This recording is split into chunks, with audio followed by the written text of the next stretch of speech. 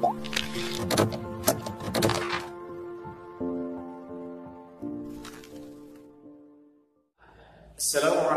warahmatullahi wabarakatuh. Kawan anak-anak sekalian, alhamdulillah kita bisa bertemu kembali dalam uh, materi kita pada hari ini adalah tentang mad arif sukun.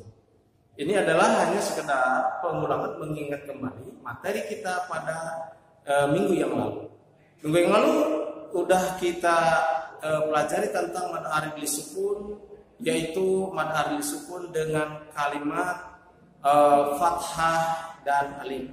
Nah, kemudian minggu yang lalu juga kita sudah uh, membahas tentang materi mad arif sukun yaitu kasrah dengan ya.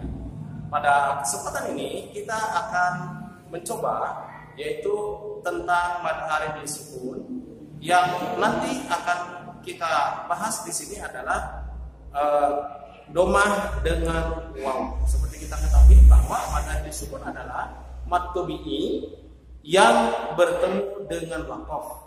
Maka mad tabi'i itu nanti dibaca panjang, bisa dua, kemudian bisa empat harokat dan bisa juga enam harokat. Baik untuk lebih jelasnya, kita coba lihat contoh berikut ini. Ada kata di sini dalam surah yang lain disebutkan ada ka'asrim makul. Nah, di sini ada bahasanya adalah doma dengan waw, kemudian ada kemudian sukun. Nah, inilah yang disebut dengan mad alif lis sukun. Mad asli bertemu dengan waw. Contoh yang kedua ada wa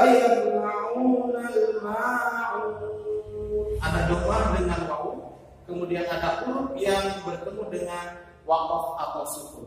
Maka itu harus dibaca sukun. Wa ma'un. Yang ketiga, kalla sawfa ta'lamun. Ada domah dengan wawu, kemudian ada huruf yang berharokat dan bertemu dengan wakaf atau sukun. Maka itulah yang disebut dengan mad arif lisukun. Cara membacanya bisa dua harokat, bisa empat harokat, dan bisa enam harokat. Dua harokat itu adalah dengan cepat bacanya, kemudian empat harokat adalah dengan sedang, dan enam harokat adalah dengan lambat. Itulah pembahasan pada uh, materi kita pada hari ini yaitu tentang mad arif disukun. Semoga anak-anakku sekalian bisa memahaminya. Demikian, demikian terima kasih. Wassalamualaikum warahmatullahi wabarakatuh.